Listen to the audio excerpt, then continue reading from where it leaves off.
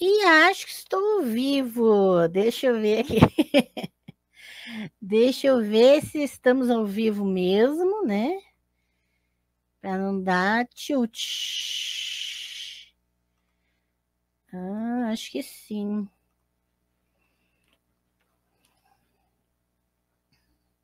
Eu não tô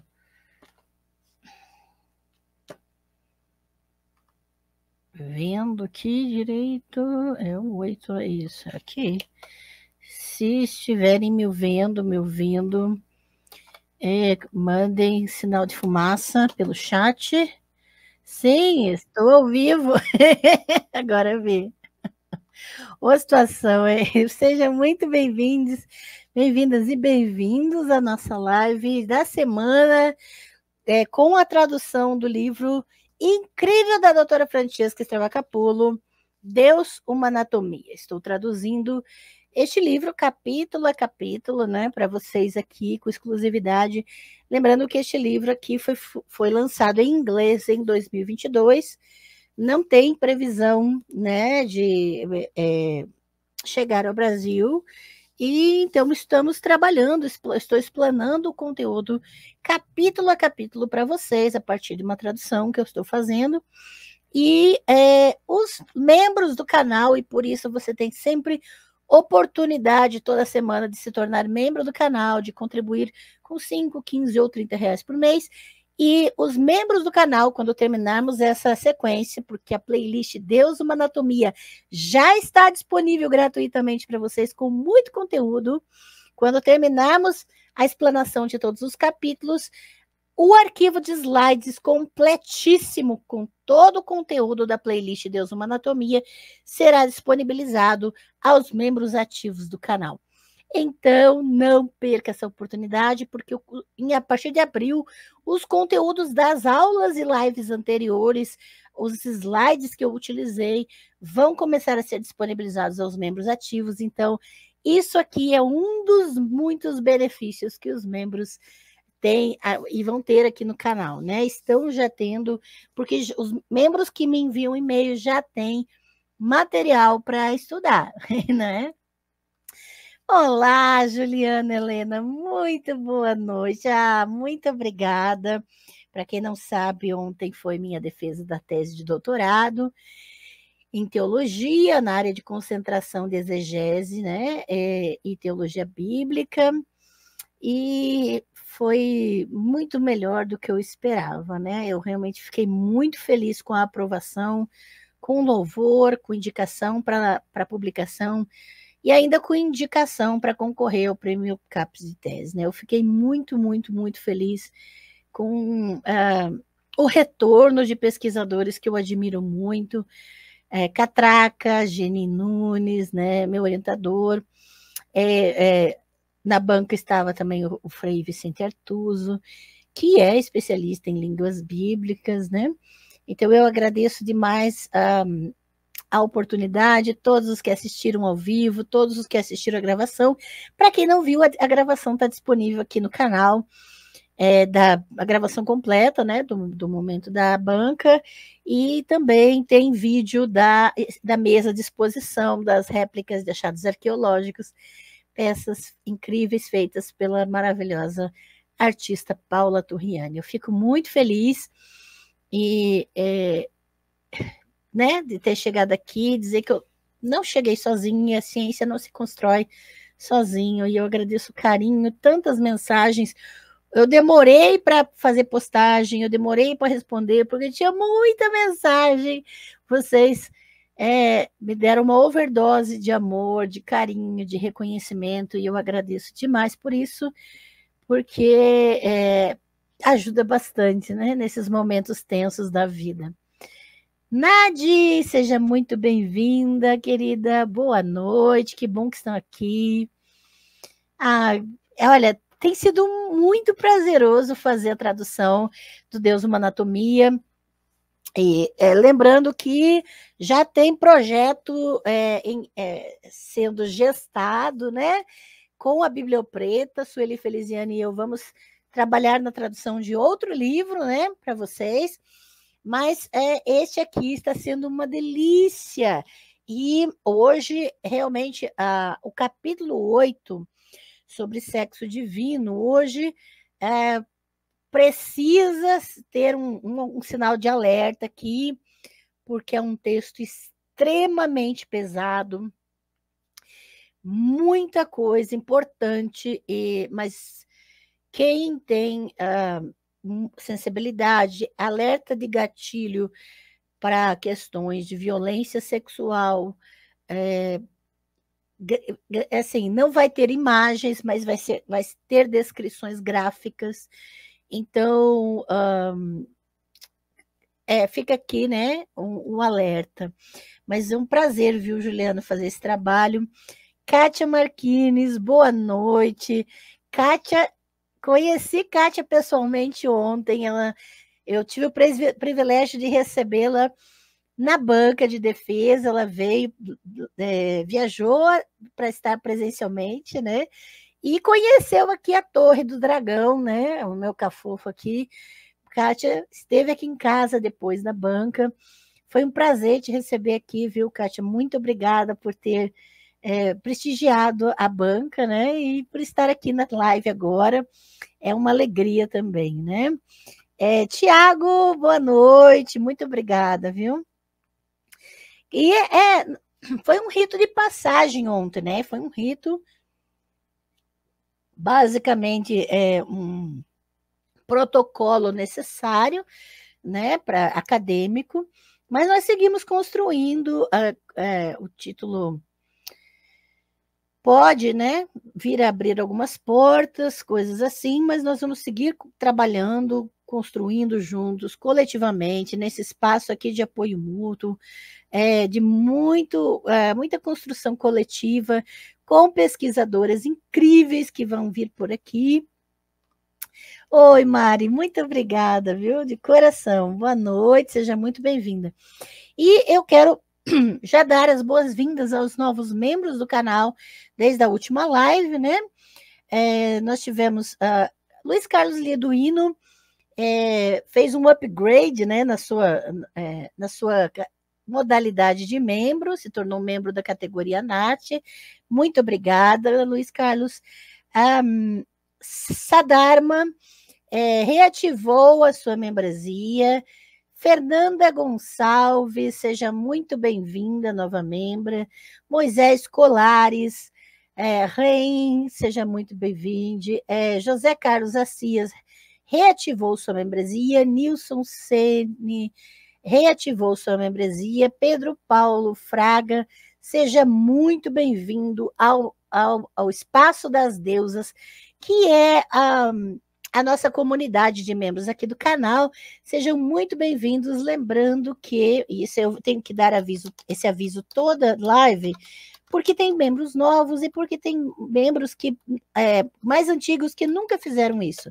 Então, os membros que não fizeram isso, por gentileza, mandem agora um e-mail para mim com seu nome completo e endereço dos correios. Eu não tenho acesso ao e-mail dos membros, os membros da categoria Asherá têm direito a receber o pacote completo do curso Asherá Deusa de Israel, mas eu preciso do seu e-mail para liberar o curso. Por isso, eu preciso que todos os membros né, que contribuem mensalmente aqui no canal mandem para mim o seu endereço dos correios. Toda segunda-feira também é dia de correio e todos os membros, independente da categoria que escolheu contribuir, Todos os membros têm direito a receber um pacote de materiais incríveis, um pacote de boas-vindas de membros, com adesivo, com livros fantásticos, conteúdo importantíssimo. E, e, mimos, né, que eu faço com muito carinho, pacote a pacote aqui para vocês, tá bem? Então, todos os membros não esqueçam de mandar um e-mail para mim com o seu nome completo e endereço dos correios. Segunda-feira eu já vou postar os pacotes dos membros que me enviarem seus dados, tá bem? Uh, Maria Helena, boa noite, muito obrigada, viu? Ai, muito obrigada por todo o carinho e apoio. Eu amei é, receber vocês, saber da presente de vocês.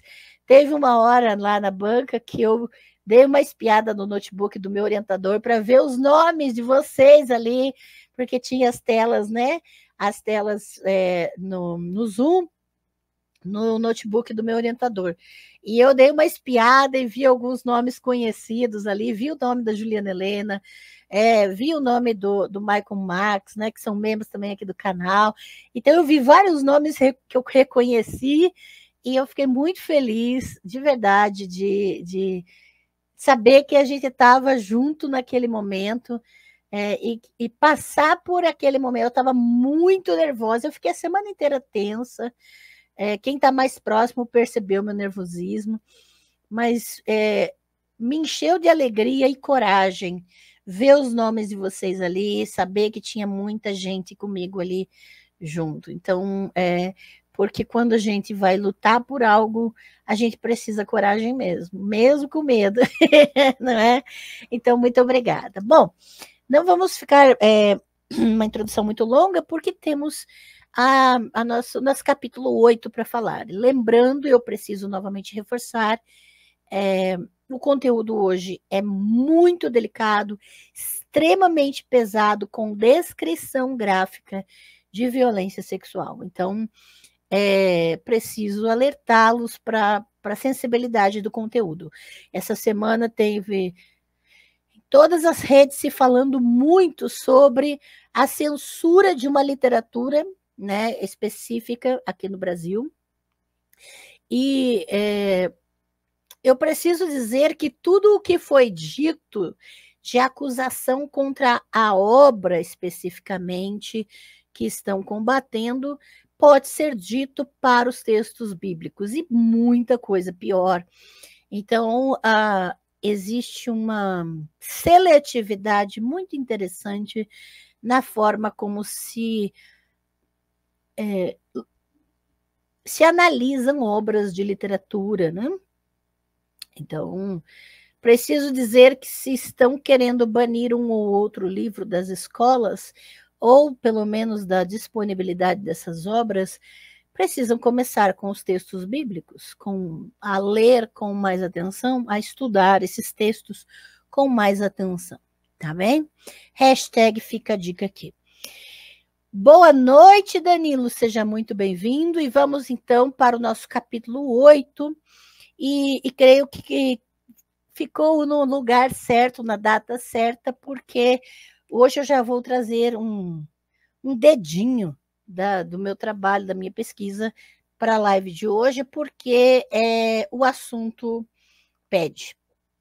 Eu vou compartilhar a minha tela, lembrando que um, é importante que uh, tenhamos o cuidado de mergulhar na explanação do, do texto da doutora Francesca, é, chamado Sexo Divino, capítulo 8, né? Porque muitas vezes nós temos muitos questionamentos a respeito de determinado assunto e por isso não prestamos atenção ao conteúdo. Mas eu quero desafiar você agora a entrar nessa, nessa explanação, a ter atenção, a beber de todo esse conteúdo e essa pesquisa que a doutora Francesca maravilhosamente é, explana e traz para nós, junto com algo da minha pesquisa que eu vou acrescentar aqui nessa explanação de hoje, para é, caso sobre alguma dúvida, no final você pode colocar no chat. Mas durante a explanação, eu é, recomendo que você tenha bastante atenção e, e, mergulhe nessas ideias, e muitas vezes, durante a explanação, as suas dúvidas já podem ser sanadas antes mesmo de você fazê-las, tá bem? Muito bem. Em um edifício moderno e arejado em Jerusalém, há uma mulher surpreendente. Ela tem cabelos longos e grossos que caem sobre os ombros e entre os seios. Ali, bebês gêmeos estão cuidadosamente posicionados com seus rostos minúsculos voltados para seus mamilos. Ela olha nos olhos de todos que a observam, com o rosto ternamente expressivo e as sobrancelhas levemente levantadas.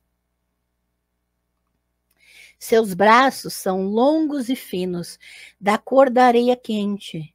Ela os estende ao longo do seu torso. Seus pulsos estão cobertos de pulseiras. Suas mãos se juntam para se encontrarem entre suas pernas. Tatuagens grandes e folhosas cobrem suas coxas, estampando sua pele com ibexes, né, caprinos, mordiscando árvores em crescimento. Ela abre seus lábios, revelando a escura e longa abertura de sua vagina. Seu olhar permanece firme. Ela é a esposa de Deus. Essa bela estatueta de argila foi encontrada nos restos escavados de um sítio arqueológico da Idade do Bronze tardia na região de Shefelá, de, do que é hoje a moderna Israel.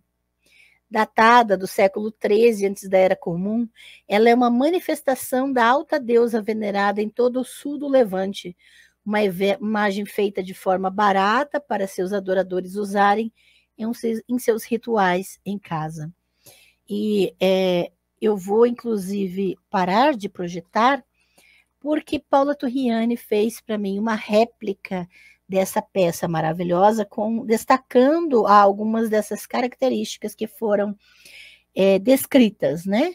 Os gêmeos ah, a, em, em direção aos seus mamilos, a sua vagina bem aberta, a, os ibexes, os caprinos em torno das árvores nas suas coxas, estão vendo? Então, é, essa aqui é uma réplica feita pela artista Paula Turriani, exatamente desse achado arqueológico, a representação da deusa, e ela fez, inclusive, esse aqui, ela fez uma réplica um pouco menor, igual, para eu usar no pescoço quando eu estava na UTI em 2021, ela mandou de presente essa aqui para mim. E essa imagem é um, uma uma das muitas encontradas na região de Israel e de Judá, né, ou na atual Israel, representando a deusa e que era usada em cultos domésticos em inúmeros lugares especificamente, né? Boa noite, Vanessa, seja muito bem-vinda. Elis, boa noite, seja muito bem-vinda. Que bom que estão aqui, viu? Então, a, a doutora Paula, a, a doutora Francesca Stravacapulo, ela começa a, o seu texto do capítulo 8 é, descrevendo exatamente a, a esposa de Javé, a, a esposa de Deus, que é representada nesta peça.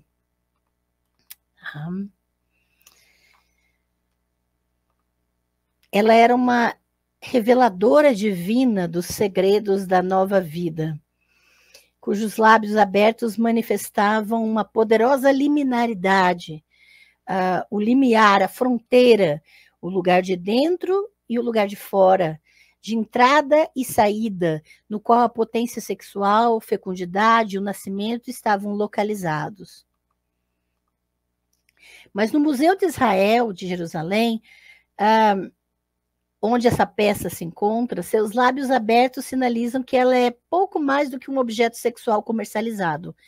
Na identificação do Museu de Israel, a placa diz o seguinte: essa estatueta pode representar a Xerá, a prostituta sagrada.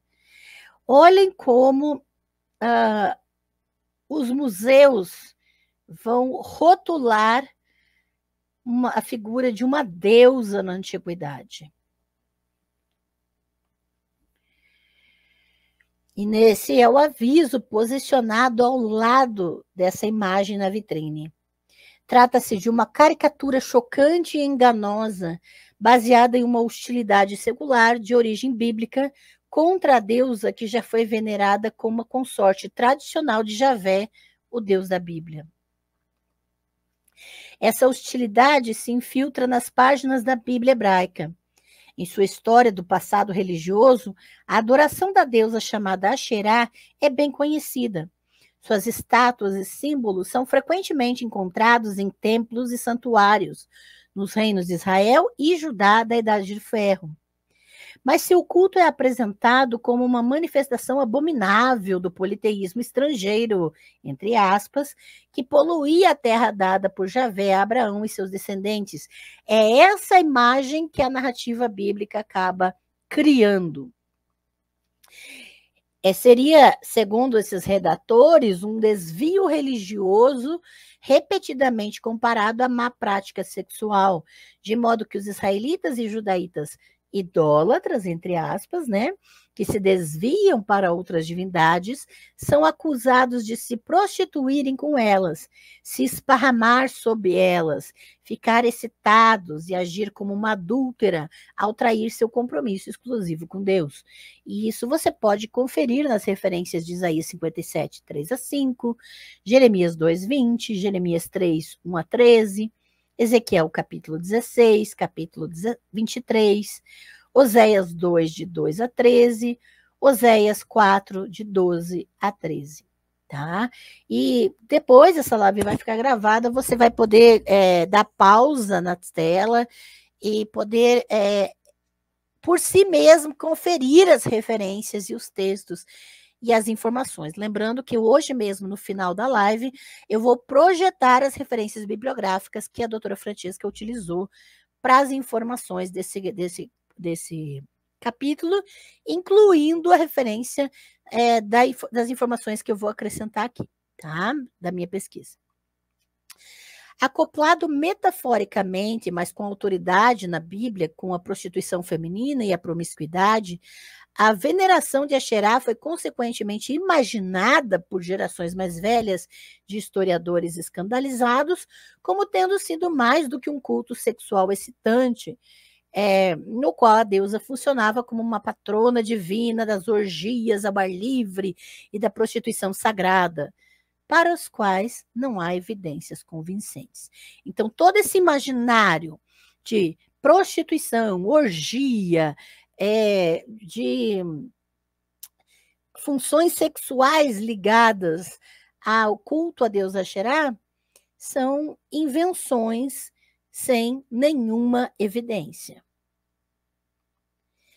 Essa era uma visão incentivada pelas histórias igualmente problemáticas de sexo e religião, vendidas por escritores antigos como Heródoto, Luciano e Estrabão, que sexualizavam seus relatos sobre as religiões que eles consideravam exóticas, religiões dos estrangeiros com histórias obscenas de prostituição em templos e sexo ritualizado. Então, todas essas nomenclaturas, prostituição cultural, é, sexo ritual, é, to, todas essas nomenclaturas os pesquisadores mais antigos, homens, com certeza, né, e vão repetir essas nomenclaturas é, a partir de escritores antigos, a partir de redação grega, a partir de preconceito e xenofobia e, claro, aquilo que nós configuramos hoje como racismo religioso,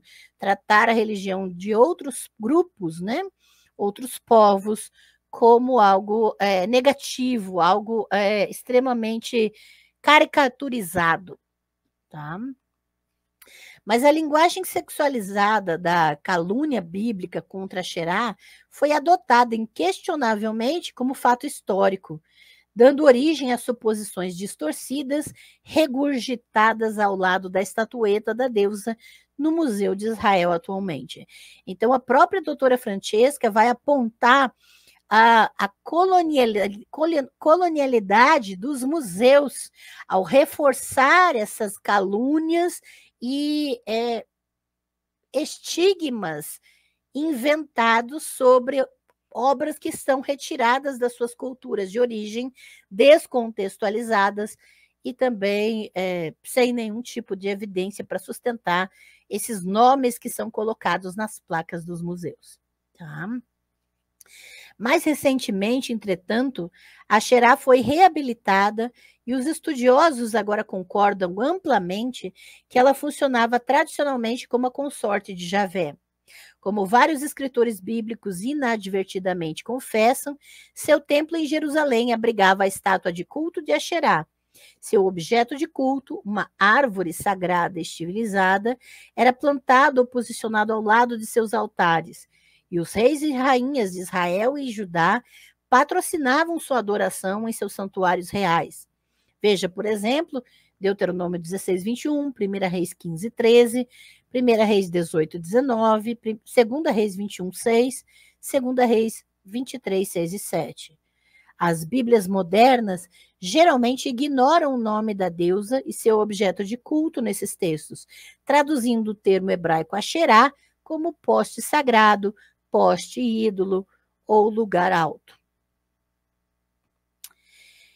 Lembrando que você pode ter muito mais material dessas pesquisas, né, adquirindo o curso Asherá, Deusa de Israel, e os membros do canal que são da categoria Asherá tem direito a este o pacote completo desse curso, que vem com uma biblioteca digital é, amplamente fundamentada nessas pesquisas. Tá? E lembrando que quem adquirir este curso é 100% da renda dele é, vai direto para a dignidade da minha tia-avó Maria, que é tia da minha mãe, e que mais de 90 anos, né, que vai fazer aqui 94 anos, e que está necessitando de apoio.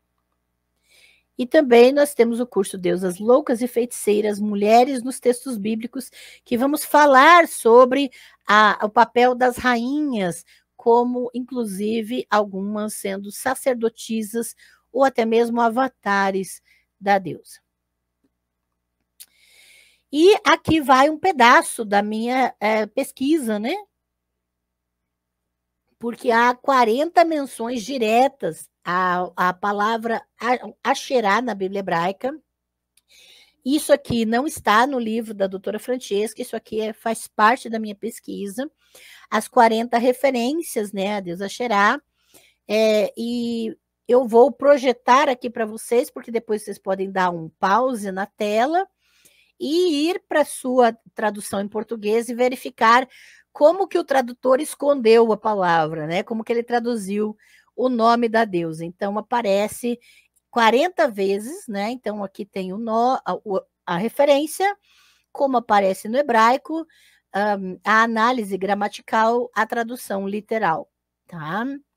Então aqui eu vou projetar as, as 40 referências em que o nome Asherá aparece na Bíblia hebraica. E aí você tem essas referências exatamente para que possa fazer sua própria pesquisa em cima e conferir esse apagamento do nome da deusa pelos tradutores.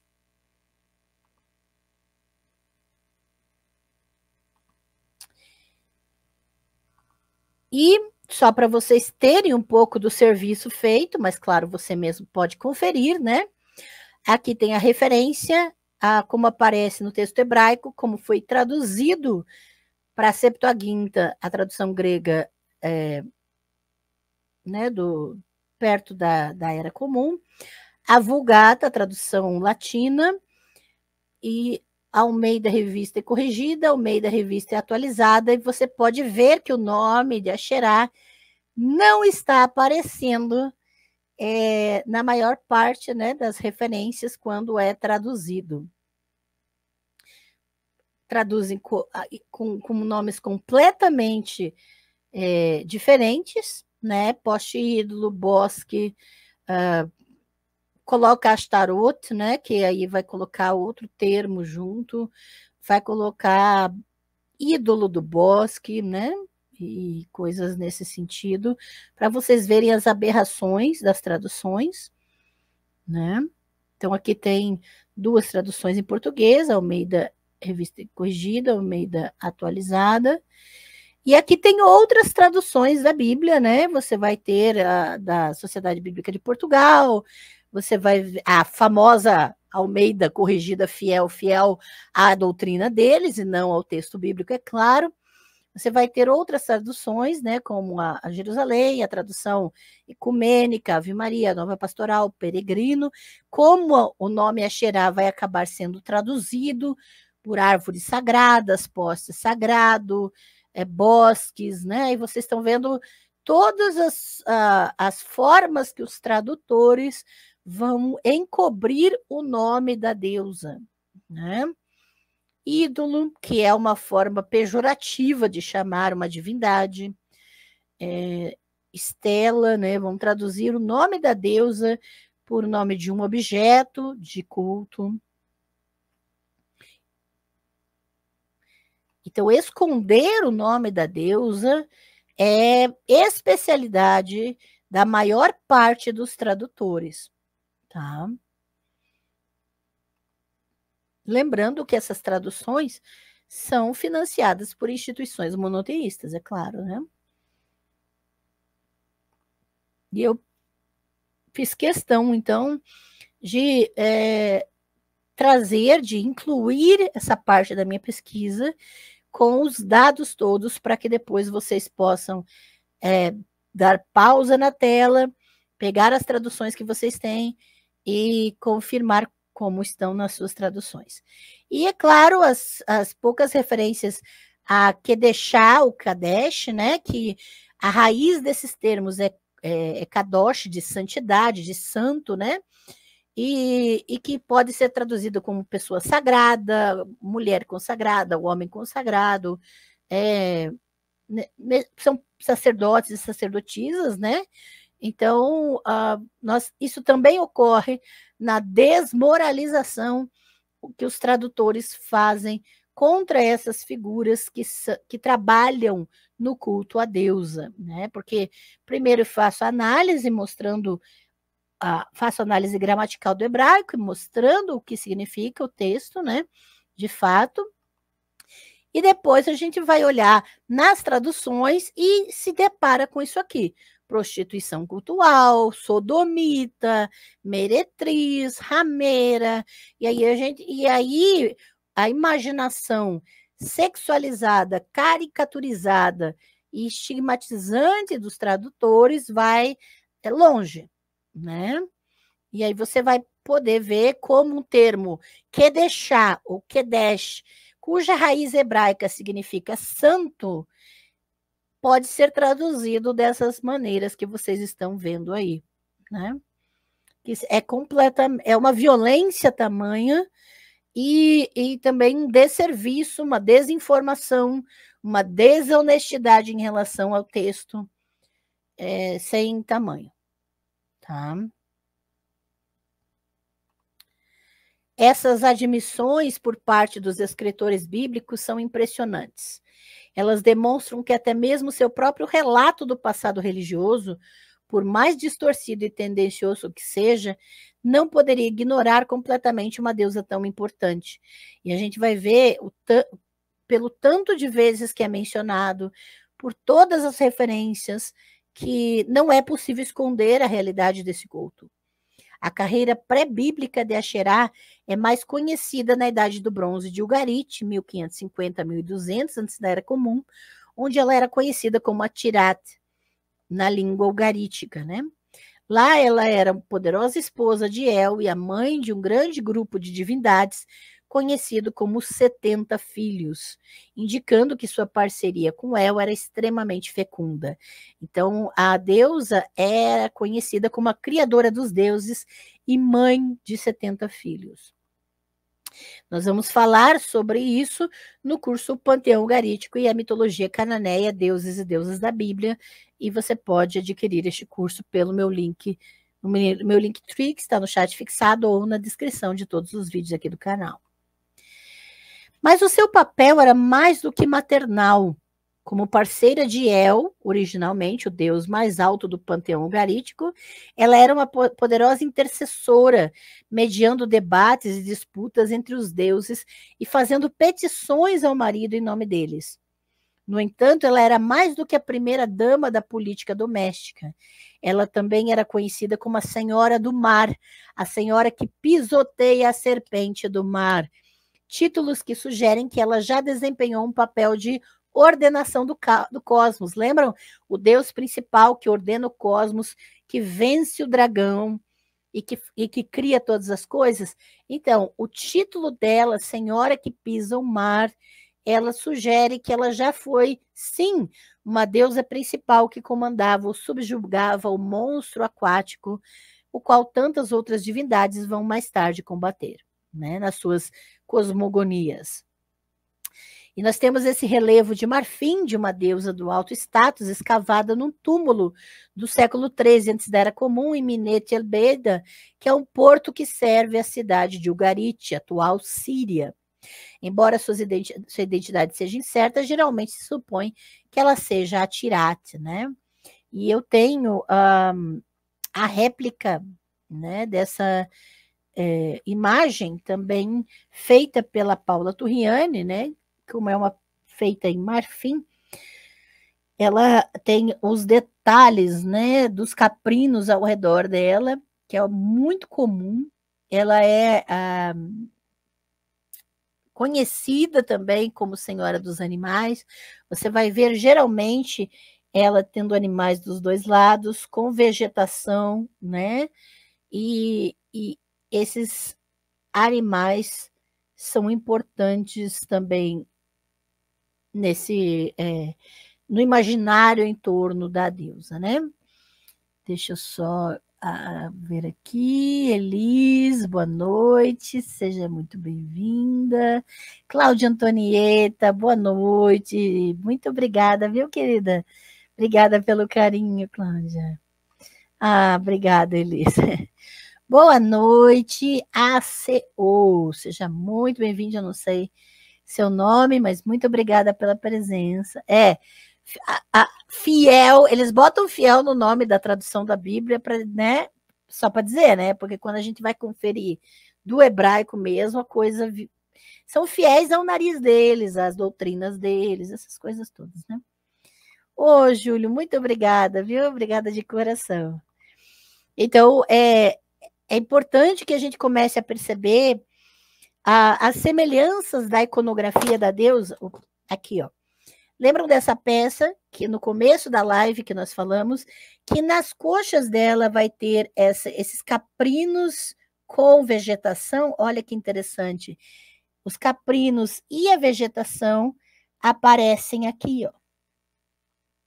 Estão vendo? Como são ah, elementos da iconografia que vão fazer pontes, que vão ser similares. E, e hoje os pesquisadores já estão te, atentando mais para essas, essas similaridades, para essas questões, tá bem? Então vamos lá. Então, o seu papel influente na política humana de Ugarit também era celebrado em sua função de ama de leite divina para os reis de Ugarit, que contavam com ela para nutrir e endossar as suas dinastias. Deixa eu ver aqui. Ah, nessa questão de ama de leite dos reis de Ugarit, que nutriam, tem uma outra peça que eu quero mostrar aqui para vocês e, e para mim ela é uma das peças importantíssimas e que não está em museu nenhum, está em coleção particular, acreditem ou não, que tem gente que simplesmente pega para si e não compartilha, uma delícia isso, além de tirar do seu local de origem, né? Fica em lugar particular. E aí eu consegui uma, uma foto desse, desse achado arqueológico, que é de mil, entre 1550 e 1200 antes da Era Comum, também foi encontrado em Hashamara, em Ugarit, tá? Na atual Síria. E aqui está um, a deusa como ama de leite de príncipes. Então, a, o, no entendimento mitológico desses povos, a deusa ela era quem sustentava as autoridades, as pessoas de autoridade nesse povo, né? Então, a, é, os reis eles eram divinos porque é, se alimentavam da deusa. Ok? Então, quando a. Essa, é, não, como não. No, no livro Deus uma Anatomia, a doutora Francesca não coloca essa imagem, mas ela cita a função de ama de leite dos uh, reis de Ugarit, né? Que nutria, endossava suas dinastias, legitimava o poder dos reis, né?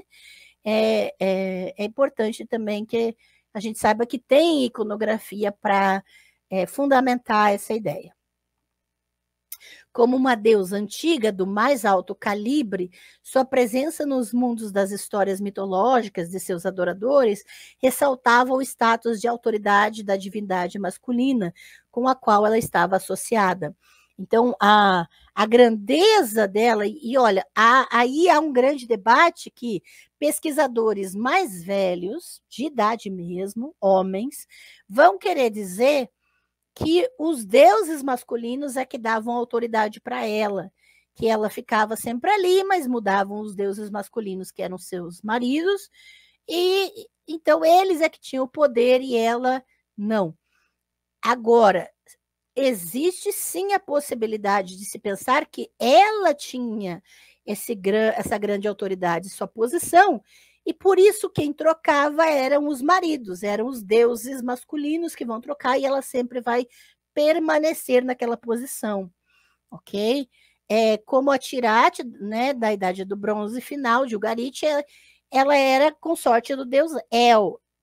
Como a Xerá, já em hebraico, né, mudando da língua ugarítica para o hebraico, vira Xerá, nos reinos de Israel Judá da Idade do Ferro, o marido dela agora é Javé. Então, em cada localidade onde ela é assumida como deusa principal, o deus principal vai se tornar o seu marido, na mitologia daquela região. Embora o relacionamento de Asherá com Javé seja geralmente apresentado como uma abominação na Bíblia, uma coleção de inscrições hebraicas antigas, sensacionalmente descobertas nas décadas de 1960 e 1970, confirma o seu papel como consorte de Javé. Datadas do século VIII antes da Era Comum, essas inscrições apresentam Javé e Asherá como um casal de poder divino solicitado para bênçãos protetoras por seus seguidores. Textos que estão fora da Bíblia. Uma inscrição foi encontrada acima da entrada de um túmulo de alto status cortado na rocha em Kilbet El-Con, na Cisjordânia. Essa inscrição confere uma bênção de Javé e sua Asherá sobre o falecido morto ocupante da tumba, um homem rico chamado Uriarro, que requer proteção divina contra aqueles que possam saquear seu túmulo e perturbar sua existência pacífica no submundo. Então, essa inscrição é, é, é, é importante de Kilbet El-Con, porque vai trazer é, exatamente a ideia de um casal protetor de uma pessoa de alta elite, tá? Ao mesmo tempo, outros falantes de hebraico estavam rabiscando apelos a Javé e a Xerá em cerâmicas votivas. O que, que é, uma, o que, que é um objeto votivo? É um objeto relacionado a um voto a uma divindade, uma promessa a uma divindade, tá? Então, uma cerâmica ritual, né, de um voto, de uma promessa, em uma estação de passagem no deserto em Kuntilet Ajrud, um local de parada em uma rede de antigas rotas comerciais que cruzavam o Sinai. Então, uh, aqui está uma, um, um, desenho, né, de uma dessas, dessas cerâmicas de Kuntilet Ajrud, no Sinai, árvore sagrada. Olhem aqui os animais em torno da árvore, os caprinos. E, e, era um motivo visual comum em todo o Levante, intimamente associado a deusas, incluindo a Xerá datado do oitavo século antes da Era Comum, esse exemplo aparece com outros símbolos religiosos e inscrições gravadas em grandes jarros de armazenamento descobertos em Kuntilet Ajrut, no, monte, no norte do Sinai. Os caprinos ladeiam a árvore mordiscando suas flores de lótus, né? E eu quero mostrar para vocês, porque, claro, né? É, a, a Paula Turriani fez para mim a réplica de Kilbetter com que tem o desenho de uma mão, a placa, né? Isso aqui é do túmulo de Uriarro, né? E deixa eu ver se dá para ver. Aqui vocês conseguem ver os rabiscos, porque é riscado na pedra as letras em, em paleohebraico, tá? A inscrição, a bênção é, e, e de, por Javé e sua xerá de proteção a Uriarro, tá?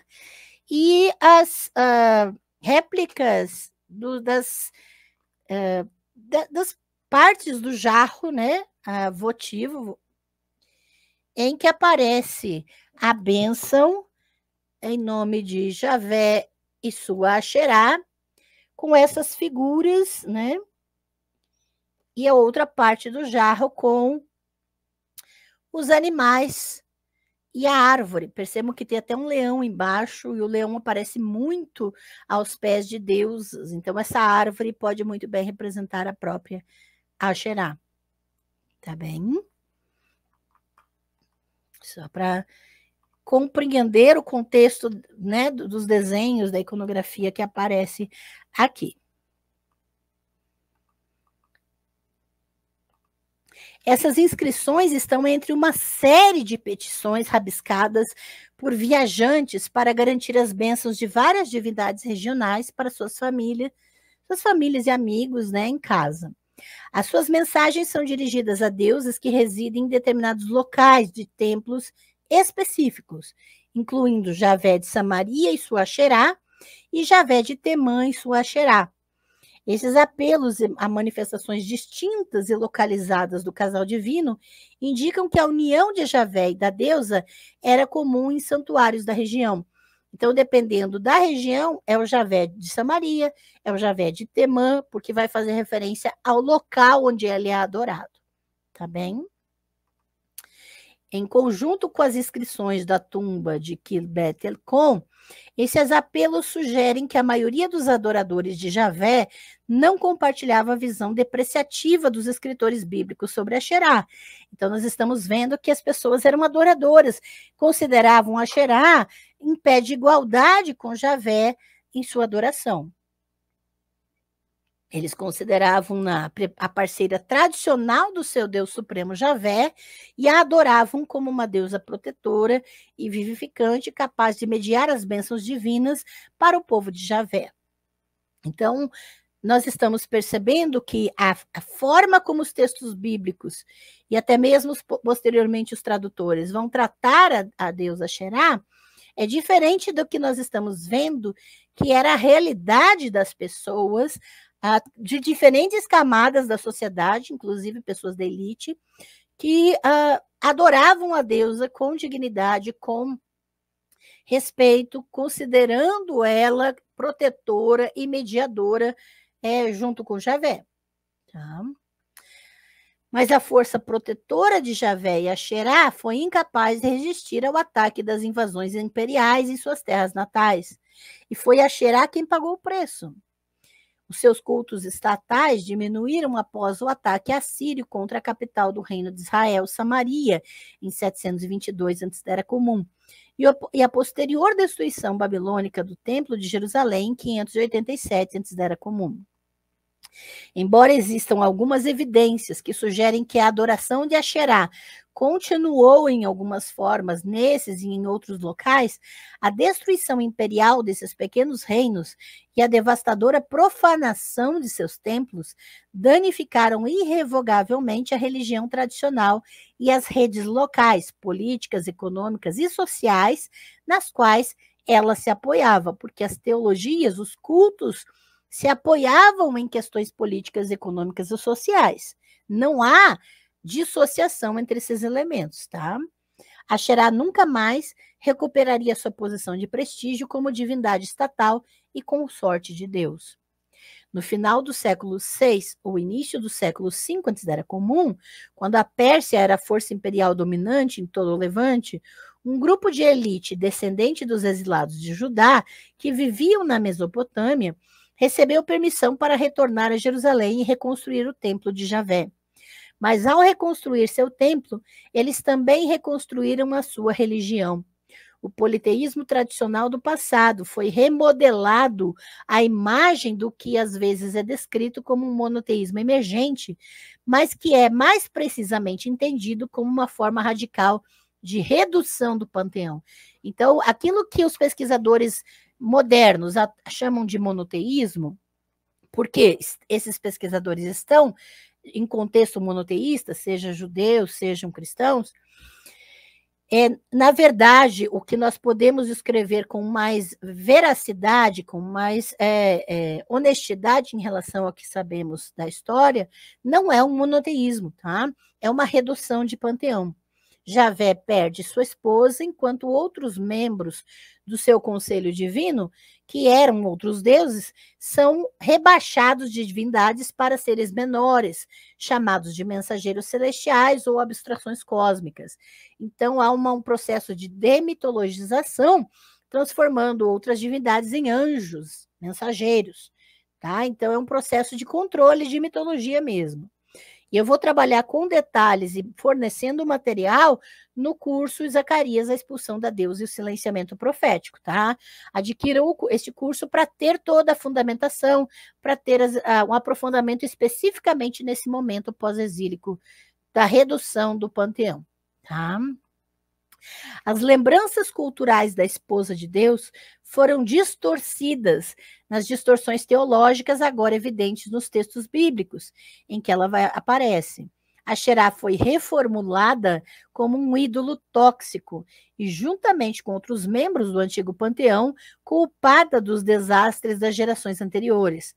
Ela foi considerada responsável por seduzir os seguidores de Javé para longe dele, e levando-o a puni-los com destruição militar e deslocamento territorial. Então, agora, essa elite sacerdotal que toma poder no pós-exílio, é, financiado pela Pérsia, vai agora é, criar uma narrativa de que foi exatamente o culto a Deus Asherá que levou eles para o exílio e que, e que fez com que Javé os punisse. Tá? Mas um vislumbre da verdadeira natureza do relacionamento do casal divino pode ser encontrada num poema antigo em Gênesis. Ele recicla um encantamento ainda mais antigo em uma canção ritual, transmitindo as bênçãos de Javé sobre o lendário ancestral José. O encantamento invoca uma série de divindades para conceder masculinidade sexual e fecundidade ao pênis de José descrito eufemisticamente como seu arco tenso e mão forte. Então, quem não assistiu às lives anteriores da playlist Deus Uma Anatomia, nós falamos isso nos capítulos anteriores, que o arco é, e a mão forte, essas expressões se referem ao órgão genital. Tá? É, incluída na lista de divindades está uma deusa com o título de seios e útero um provável epíteto de Asherá, já que é usado para Atirat, né, o nome dela em ugarítico, sua encarnação mais antiga em ugarítico. No poema, ela é associada a uma divindade chamada Pai e Altíssimo, títulos rituais do deus da Bíblia herdados do marido de Atirat, El. No panteão ugarítico, El é chamado de Pai e de Altíssimo também, tá? Então, aqui está o texto em Gênesis. Do Deus do seu antepassado que o apoia, de Shaddai, que o abençoa, as bênçãos do céu acima, as bênçãos da, das profundezas que se agacham abaixo, as bênçãos do seio e do útero, as bênçãos de seu Pai guerreiro altíssimo, as bênçãos das montanhas eternas, as bênçãos das colinas eternas distantes. Gênesis 49, 25 a 26. O acoplamento de Pai Guerreiro Altíssimo e seios e útero aponta para a colaboração sexualizada dessas divindades paralelamente ao emparelamento de céu e profundezas. Então, seria a Javé e a Xerá, né? As partes divinizadas e primitivas do universo, cuja união deu origem e construiu o próprio cosmo, né? Então, assim como o céu e o abismo criaram o cosmo, o Pai e ah, o útero e o seio criaram ah, as pessoas, criam, né? Geram as pessoas.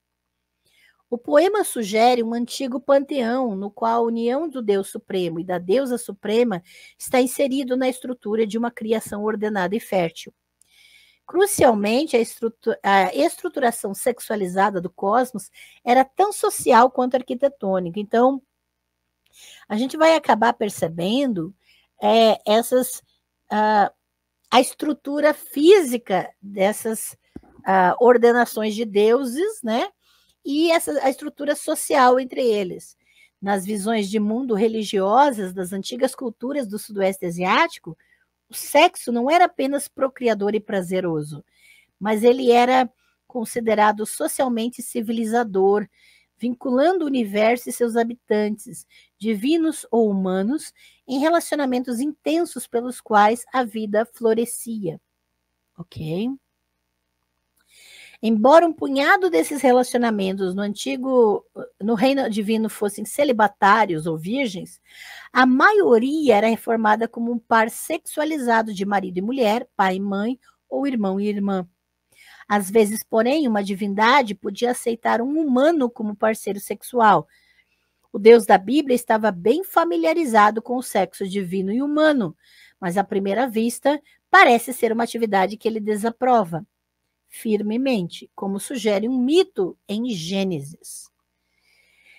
Na história do início desse livro, a criação da humanidade é rapidamente seguida por uma série de transgressões humanas, lá em Gênesis. Comer frutas proibidas, uh, o primeiro assassinato e depois, o pior de tudo, o sexo com deuses.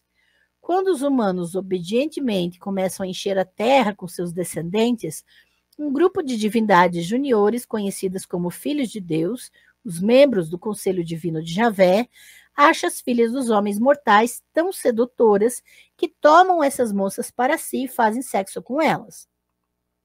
Eu falo sobre isso na live chamada Sodomia e Pecado Original nos Textos Bíblicos. Está aqui no canal, na playlist Gênero e Sexualidade. Depois da live de hoje, você pode ir lá conferir, que eu vou analisar o texto desse sexo de deuses e mulheres, tá bem? As meninas dão à luz os nefilim. Na live eu vou explicar bem detalhadamente essas questões, tá? Aqui a doutora Francesca apenas vai citar isso, tá? E os nefilim seriam uma raça guerreira mítica de híbridos divino-humanos, que em outras partes da Bíblia são considerados gigantes temíveis, né? Gênesis 6, 1 a 4.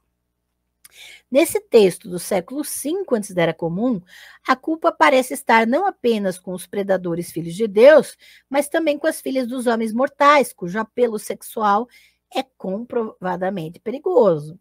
Deus está tão chocado com o que ele descreve como maldade humana que se arrepende de ter criado a humanidade, uma humanidade perigosamente deformada.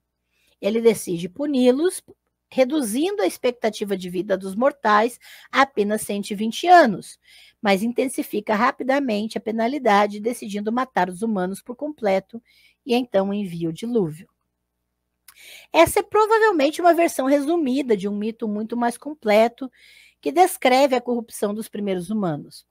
Ele é encontrado em sua forma mais longa numa composição chamada Livro dos Vigilantes, é, que eu forneço também nos meus cursos, tá? Cuja versão inicial está incluída em um texto conhecido como Primeiro Enoque, que foi escrito por volta do século IV antes da Era Comum. Aqui, em Primeiro Enoque, os filhos de Deus são os vigilantes, um grupo de 200 seres divinos que funcionam como emissários de Deus, que posteriormente vão ser chamados de anjos.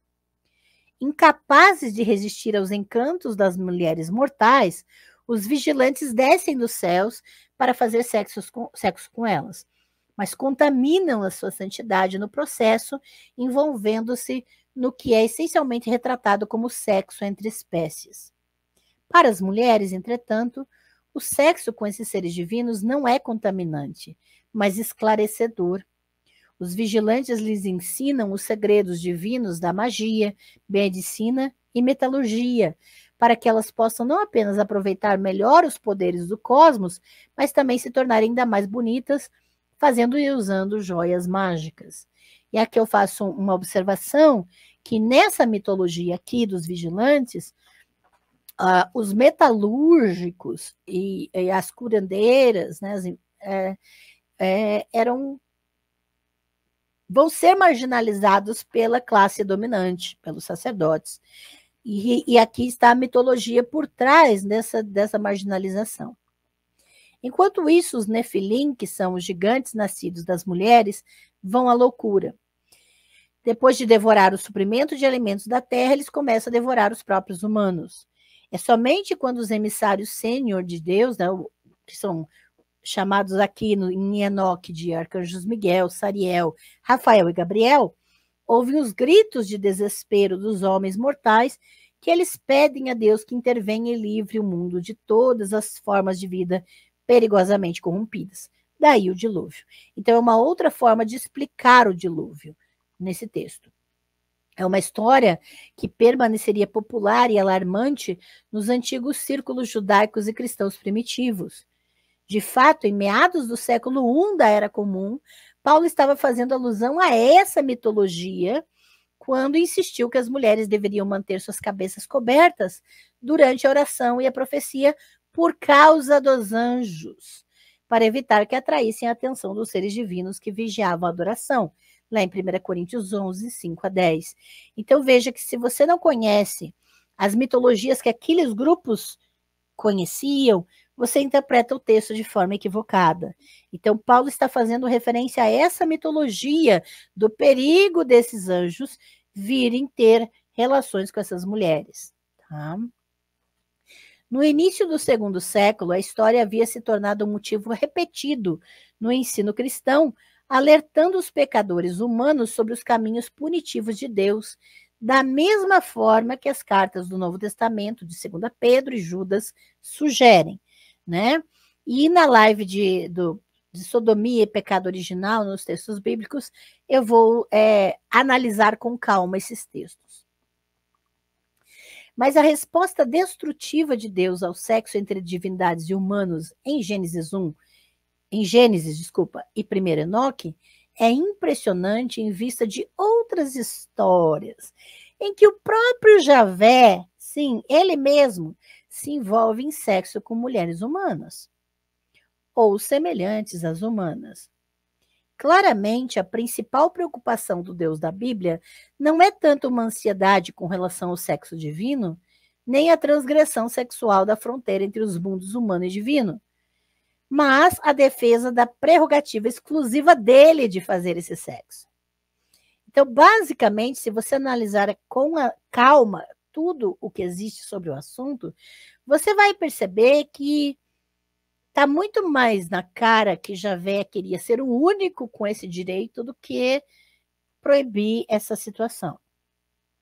O primeiro encontro sexual de Deus ocorre muito antes do nascimento dos Nefilim. No jardim do Éden, a comida da árvore sagrada poderia estar fora do cardápio, mas saciar apetites sexuais foi divinamente ordenado. A união de Deus entre Adão e Eva, aparentemente, se concretiza quando Eva dá à luz a Caim, o primeiro filho humano. Aparentemente, é, é, é resultado da união entre Adão e Eva. Mas, se você olhar com mais calma no texto hebraico, a sua declaração enfática do, no nascimento do seu filho, né, a declaração que Eva faz quando o seu primeiro filho nasce, ela atribui a Deus e não a Adão a paternidade. Procriei um homem com Javé. Gênesis 4, 1. É assim que pode ser traduzido o texto hebraico. Eu vou dar um segundo para vocês assimilarem a informação.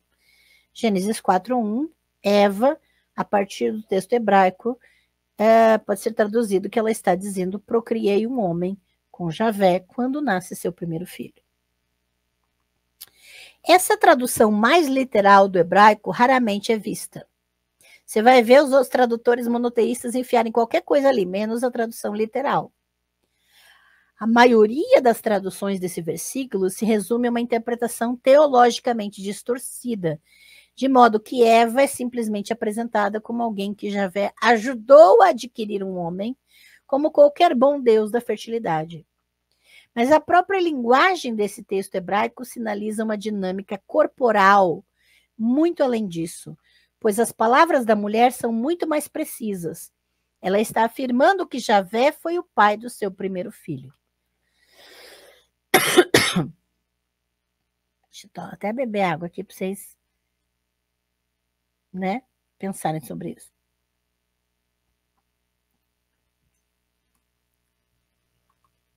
Não há nada de virginal nesse nascimento. O orgulho de Eva é indicativo de uma agência sexual feminina totalmente diferente da passividade higienizada do seu anti, antitipo, antitipo bíblico, posterior, né? A Virgem Maria. Vai ter essa, até essa oposição nas teologias entre Eva e Maria, aquela coisa toda. As palavras de Eva revelam que ela é a parceira colaborativa de Deus na criação de uma nova vida humana. Mas esse papel proativo também aponta para uma história mítica de fundo, que foi há muito tempo perdida, a respeito do caráter de Eva.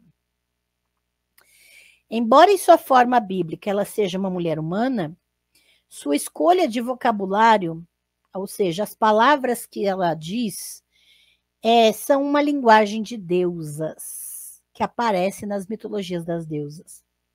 Quando ela afirma que procriou um homem, ela usa um termo especializado e técnico para a reprodução divina, também usado pelas deusas nos mitos de Ugarite. De fato, assim como a deusa ugarítica Tirate, Eva é chamada de mãe de todos os seres vivos. E até mesmo seu nome, que em hebraico é Havá, provavelmente significa doadora da vida ou vivente, isso evoca o epíteto da deusa Tirate no seu glorioso título Senhora a Vivente, a deusa. Então, quando Eva, o nome Ravá, vida, doadora de vida, vivente, ela está sendo nomeada por títulos da deusa. Esses atributos da caracterização de Eva em Gênesis, Gênesis sugerem que antes de sua carreira bíblica ela era mais parecida com uma deusa, portadora de vida, adequadamente localizada no jardim celestial do Éden e, portanto, uma parceira sexual muito adequada para uma divindade masculina. E eu vou falar sobre isso no curso O Divórcio de Javé e a Deusa no Éden. Eu vou não somente é, explicar toda a simbologia dessa mitologia do Éden, como também trazer a fundamentação sobre isso. Então, adquiram já pelo meu Linktree. Na Bíblia, entretanto, o relacionamento mais significativo e sexualizado de Deus não é com uma deusa ou uma figura semelhante a ela, mas com sua outra esposa, Israel. A personificação de uma cidade, território, nação ou grupo social como uma mulher é bem comprovada em outras culturas, geralmente masculinistas e patriarcais, em todo o mundo. Então, essa ideia de é, um povo, uma nação, um grupo social ser é, identificado né, ou representado pela figura feminina, isso está em todo mundo, tá? Mas nos textos bíblicos, a personificação feminina de Israel, a Sião, né, a filha de Sião, desempenha um papel sustentado e crucial na articulação do relacionamento intenso e exclusivo entre Deus e seus adoradores. Vou lembrar vocês de alerta de gatilho para descrição gráfica de violência sexual, tá? Estou avisando, tenham cuidado quem é sensível nesse sentido. É um relacionamento tão íntimo que seu amor por eles é frequentemente expresso na linguagem do desejo sexual. No entanto, em alguns livros da Bíblia hebraica, o tom erótico dessas imagens não apenas passa do emocional para o físico, mas assume um tom muito mais sombrio, apresentando Deus como um poderoso predador sexual e Israel como uma jovem, graciosa moça. Sim, Javé é descrito graficamente como um predador sexual. O livro de Oséias oferece um exemplo vívido. Nele, Israel é uma adolescente caprichosa cujo fascínio sexual intoxica tanto a Deus que ele passa a planejar obsessiva e possessivamente para torná-la sua esposa. Agora vou seduzi-la, diz ele sobre Israel. Vou levá-la para o deserto e falar ao seu coração, e lá ela clamará. Oséias 2, 14 a 15. E aí, nas igrejas, o povo usa isso como ela vai louvar a Deus. Não, não é isso que o texto hebraico significa. Essas palavras traem mais do que a fantasia romântica de uma divindade apaixonada.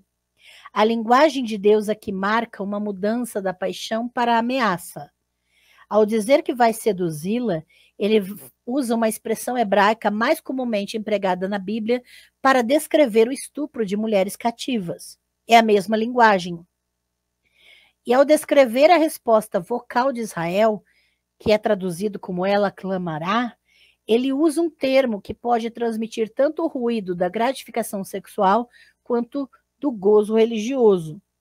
O perigoso senso de direito sexual de Deus distorce seu ataque planejado contra a moça numa convicção distorcida de que ela gostará do estupro e gritará em êxtase orgástico.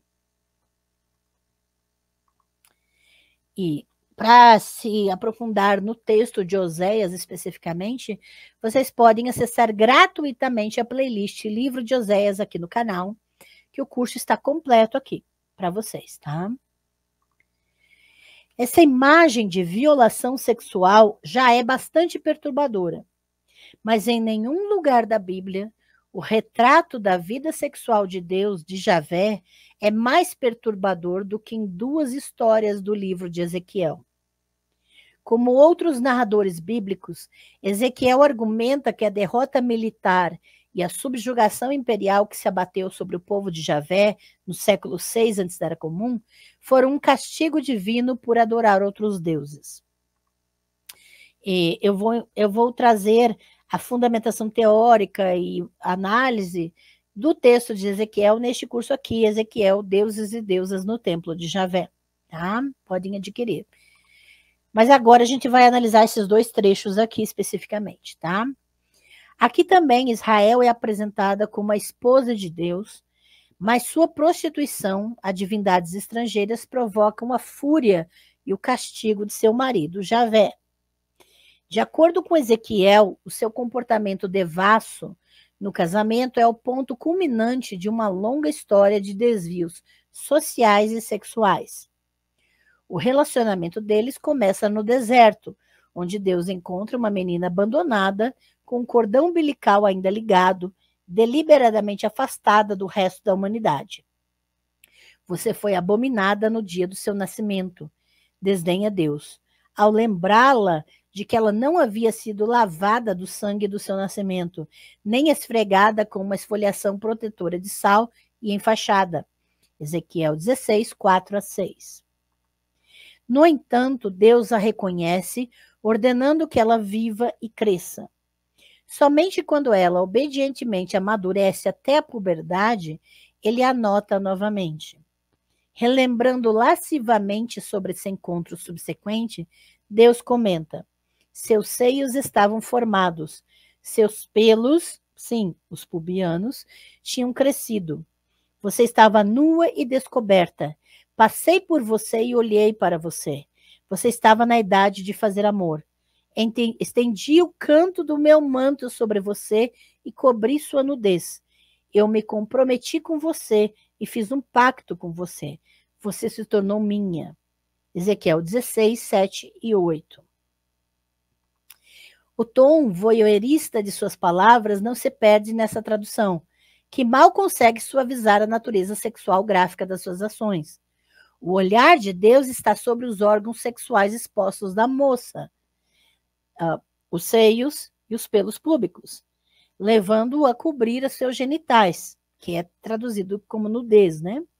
Com seus próprios. Seu manto aberto funciona aqui como uma imagem da sua montaria sobre ela. Ele não está estendendo um pano sobre ela. A, a, a, a imagem aqui é ele estendendo ele se estendendo sobre ela para cobrir a sua nudez. Então, ele está montando sobre ela, como no livro de Ruth, no qual a heroína homônima incita um boa sonolento a fazer sexo com ela, estendendo o canto de seu manto sobre ela. Então, estende o seu manto, ou seja, se joga, né? Ruth 3:9. Aqui, Javé, então, ele olha para os genitais dela e monta em cima dela. Essa é a imagem. Os eufemismos sexuais continuam, pois é ao penetrar o corpo da menina que Deus entra numa aliança com ela. Uma relação de poder desigual, na qual a forja da exclusividade e propriedade da deidade, a monocultura, né? tanto o monoteísmo quanto a monogamia, vocês vejam que tem, estão entrelaçados aqui, que reivindica a exclusividade e a propriedade de Israel, é apresentada como a consumação sexual da posse de um homem, de, de uma noiva. Você se tornou minha. Os intérpretes judeus e cristãos tendem a suavizar e higienizar esse encontro, seja por meios reducionistas, de modo que o episódio seja meramente uma metáfora ou alegoria. Então, vocês vão ver que os monoteísmos vão transformar tudo isso aqui em alegoria para disfarçar o seu tom gráfico sexual e, e violento. Tá? e vão descrever a intensa intimidade religiosa ou fantasiando que noções românticas de um amor comprometido e heteronormativo encontram seu arquétipo em Deus, de modo que ele é o paradigmático marido devotado. Não. Isso é um pensamento ilusório e não serve, e não, e não é honesto com o texto hebraico. A história de Ezequiel é o reflexo de uma cultura patriarcal e masculinista, na qual meninas e mulheres tendiam a ser valorizadas e definidas em termos de suas configurações corporais com os homens, como filhas, irmãs, esposas, mães ou trabalhadoras do sexo. E eu já, já tenho live aqui no canal sobre isso, tá?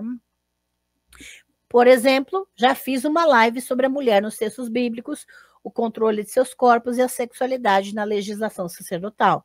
Tem, essa live já está disponível no canal, tá, gente? O Deus bíblico não pode e não deve ser ignorado. Aqui ele é um macho alfa predatório cujo direito sexual molda totalmente a identidade e o destino dessa jovem deslocada e vulnerável. De fato, é somente após o sexo que Deus reabilita formalmente a sua jovem noiva por meio de ações que lembram os rituais que lhe foram negados no nascimento. Aí, depois do sexo, é que ele a banha, lavando o sangue seco do seu nascimento, o sangue úmido da puberdade, e então depois a esfrega, não com sal, mas com óleo sagrado. A sua objetificação continua quando ele a veste com tecidos finos e coloca sandálias de couro macio em seus pés, ele a decora com brincos, um anel no nariz, pulseiras, um colar, uma coroa, para que ela se pareça com a estátua de uma deusa em um templo. Está descrevendo a estátua de uma deusa num templo.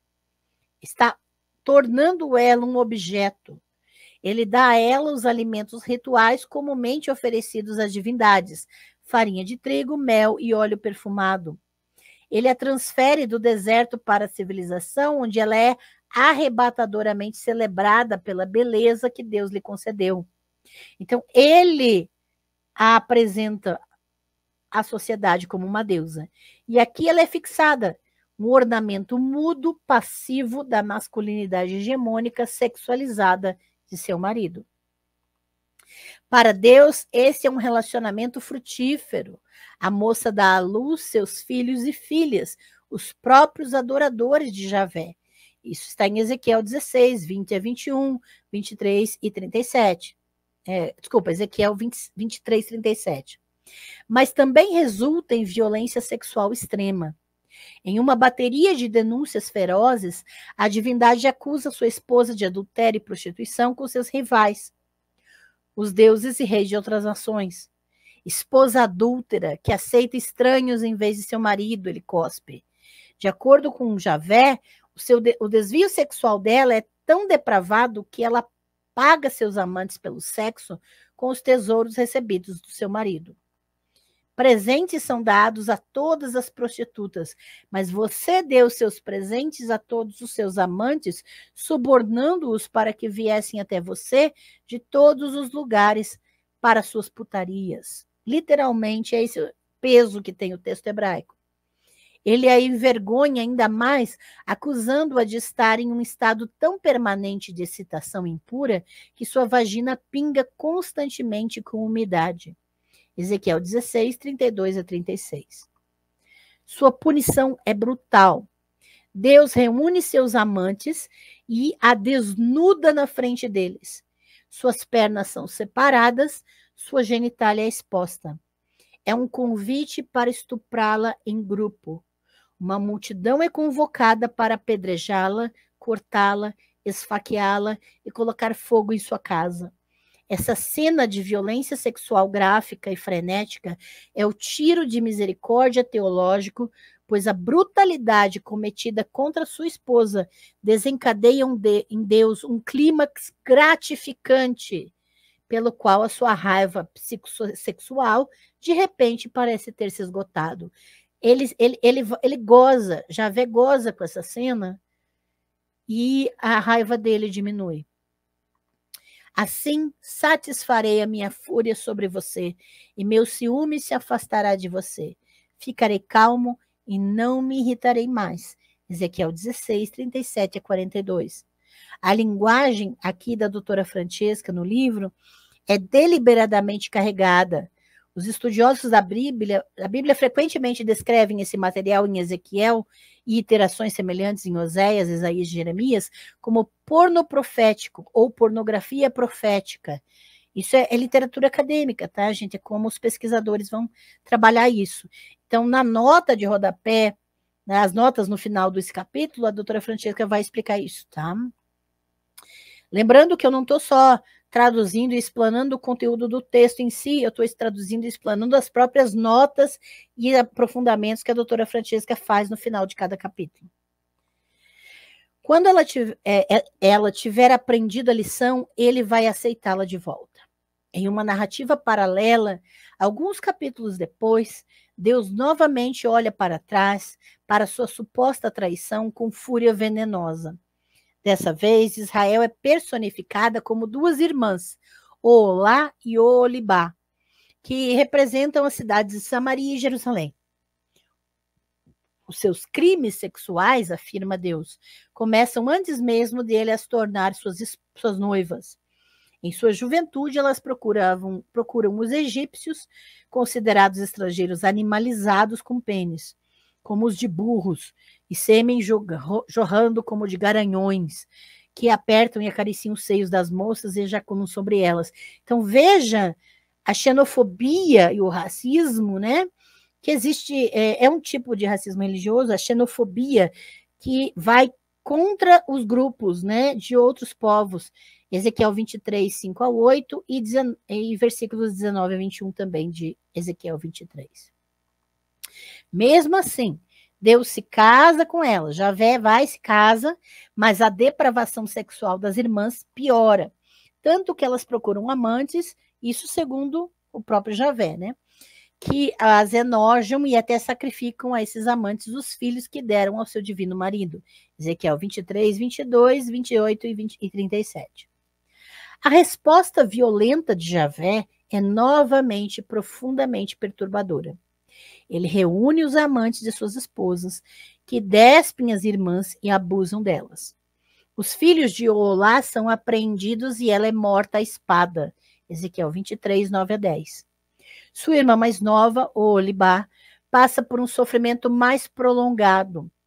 Deus convoca novamente os seus amantes, instruindo-os a desfigurar sua esposa infiel, cortando-lhe o nariz e as orelhas, expondo seus órgãos genitais e queimando seus filhos. Ezequiel 23, 22 a 29. Em seguida, Javé dá à sua esposa a taça de desolação e horror da irmã morta, ordenando que ela beba até ficar intoxicada com tamanha vergonha que a taça se quebrará em suas mãos. Em uma imagem surpreendente da automutilação causada pelo abuso, Javé decreta que ela usará seus pedaços irregulares para se mutilar, roendo seus cacos e cortando seus seios. Ezequiel 23, 31 a 34. O mais prejudicial de tudo, talvez, seja a moral da história. O destino da esposa de Deus é explicitamente exibido nessa narrativa como um aviso a todas as mulheres para que elas também não desonrem seus maridos. Essas histórias horríveis do livro de Ezequiel provaram ser profundamente perturbadoras para muitos leitores do passado e do presente, seculares e religiosos. Como endossos, ainda que antigos, da predação sexual masculina, da exploração e da violência misógina, os sistemas de valores evocados nessas narrativas entram em conflito ostensivo com os do Ocidente moderno. Eles não apenas degradam e vilipendiam a sexualidade feminina, mas consagram o abuso sexual e doméstico de meninas e mulheres com autoridade bíblica permanente. Sim, é isso que estamos falando. E a doutora Francesca reforça no seu livro. Esses textos endossam a violência, o abuso sexual de meninas e mulheres com autoridade bíblica. E todas as pessoas que se utilizam dos, da Bíblia como seu livro, como palavra de Deus, estão endossando isso também. Teologicamente, o aliciamento sexual e a violência gráfica que Deus inflige à sua jovem esposa é imensamente difícil para alguns crentes modernos se reconciliarem com suas construções idealizadas de Deus. Mas para muitos leitores judeus e cristãos, é mais especificamente a representação gráfica de uma divindade sexualmente ativa que se mostrou insuportável. Ele foi mal traduzido, descartado como mera alegoria ou simplesmente ignorado. Então, é isso que os monoteístas vão fazer: traduzir de forma equivocada esses textos, descartar o texto como alegoria ou simplesmente ignorar. De fato, no século II da Era Comum, a história de Deus fazendo sexo com sua noiva pubescente em Ezequiel foi banida pelos rabinos da leitura pública na sinagoga, uma decisão atribuída ao rabino Eliezer, sem da era comum, que interrompeu um homem que estava lendo em voz alta as palavras iniciais da história. Mortal proclame a Jerusalém suas abominações. Com a sarcástica repreensão. Por que você não sai e proclama as abominações de sua mãe? Isso está registrado na Megilá, né? Especificamente. Para os antigos rabinos, não havia nenhuma pretensão de que o retrato tenebroso e explícito do sexo divino humano era simplesmente simbólico. Para esses antigos rabinos, a história de Ezequiel era simultaneamente uma metáfora e uma verdade mitológica, revelando a natureza ardente do relacionamento físico entre a mãe do povo e seu Deus. É melhor censurá-la completamente do que repetir em voz alta suas verdades chocantes. Por outro lado, quase todos os primeiros pais da igreja cristã se recusaram a reconhecer os corpos sexualizados e de gênero de Deus e de Israel nessas narrativas bíblicas. E a gente volta, como a gente já viu no, na, na, nas lives que eu traduzi o livro A Invenção da Sodomia na Teologia Cristã, retornamos ao mesmo ponto. Olha que coincidência. É nos pais da igreja cristã que muda tudo, que eles de repente esquecem o texto e viram o texto de ponta cabeça e inventam outra coisa para que ninguém mais é, saiba o que está escrito de fato lá. Os, uh, então, quase todos os pais da igreja, né, mesmo uh, confiando nas suas imagens corporais para ensinar os cristãos sobre as realidades concretas e corporais do pecado e da salvação, vão sim se recusar a reconhecer a sexualização de Deus e de, de Israel aqui. Orígenes ficou espantado com a implicação de que Ezequiel apresenta uma visão da corporeidade de Deus e sua esposa. Então, citando Orígenes, me foi dito, não alegorize, não explique figurativamente. Ele exclamou: Deixe-os dar uma opinião sobre isso, eu peço. Jerusalém tem seios, em um momento eles não estão presos, em outro momento eles estão firmes, e ela tem um cordão umbilical e é repreendida porque não foi cortado. Como é possível entender essas coisas sem uma interpretação alegórica? Então, Orígenes, ele vai ler a literalidade, o texto graficamente, e vai dizer que a única solução para ele é a alegoria. Então, é, ele, ele está reconhecendo que ele não está interpretando o texto de acordo com o seu contexto. Ele tem que enfiar uma alegoria para conseguir passar por cima desse texto. A abordagem de Orígenes a esses textos difíceis dominaria as leituras cristãs subsequentes por séculos. Apesar de um compromisso confessional com a realidade encarnada do corpo divino de Cristo, os teólogos da igreja permaneceram incrédulos de que o corpo de Deus estivesse em uma visão totalmente sexualizada no livro de Ezequiel.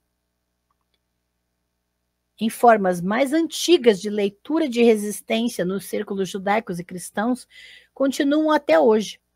Nas traduções modernas, padrão da Tanakh e da Bíblia cristã, as imagens sexuais gráficas desses textos perturbadores são suavizadas ou obscurecidas com vocabulário higiênico e alguns eufemismos desajeitados, ocultando teologicamente a representação de um Deus sexualmente ativo. Mas para os antigos escritores dos livros bíblicos, Deus era tão familiarmente corpóreo, masculino e sexual que essas características eram facilmente aproveitadas para contar a história de seu relacionamento intenso e turbulento com seu povo Israel. Um povo que ele esperava que desejasse, amasse e obedecesse a ele como uma boa esposa deveria fazer. Aos olhos dos escritores bíblicos, a esposa tradicional de Deus, Asherá, pode ter sido deixada de lado, mas ele próprio manteve sua posição de marido divino e, em vez disso, casou-se com seus adoradores. É por isso, e atenção, porque o povo pode dizer, não, mas no Novo Testamento é tudo mais lindo, é tudo mais leve. E aí nós vamos perceber que se existe uma imagem no Novo Testamento de um casamento entre Deus e seu povo, então, o Antigo Testamento, desculpa, a Bíblia hebraica, esses textos da Bíblia hebraica, então, não estavam é, alegorizando nada. Eles vão manter essas tradições na mentalidade do povo, a ponto deles continuarem imaginando um casamento entre Cristo e a igreja. E é por isso que os primeiros cristãos podiam conjurar tão facilmente a imagem de Cristo como seu noivo celestial. Essa aqui é uma evidência de que esse imaginário da divindade casada com uh, o Israel é algo vívido na imaginação dos primeiros cristãos. Já em meados do século I da Era Comum, Paulo estava dizendo aos cristãos em Corinto que eles estavam prometidos em casamento a um só marido, como uma virgem casta a Cristo. 2 Coríntios 11, 2. Da mesma forma, em sua carta à comunidade cristã em Roma, Paulo apresentou o relacionamento íntimo entre Cristo e sua igreja como a união fértil e corporal de um marido e uma esposa, uma imagem ampliada no livro de Apocalipse e na epístola aos Efésios para descrever a igreja como a noiva de Cristo. Romanos 7, 1 a 4.